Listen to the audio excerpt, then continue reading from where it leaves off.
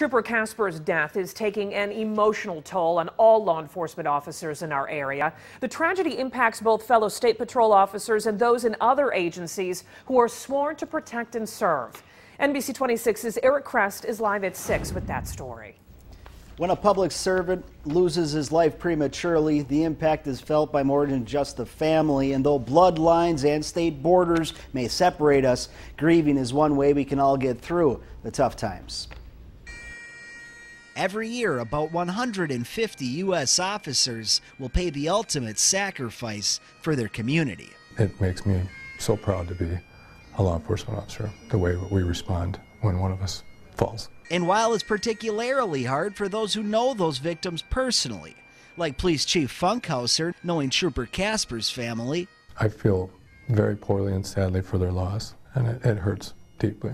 It's also painstaking for those who never even met them.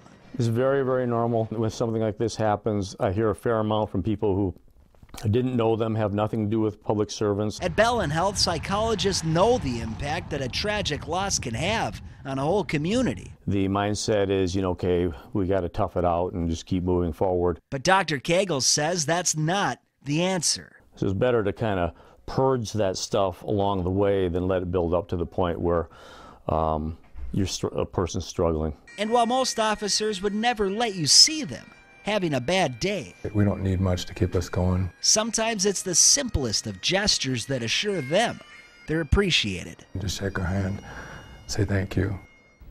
The psychologist I spoke with today says it's critical for those dealing with a loss to talk to somebody about what you're going through. Eric Krest, NBC 26.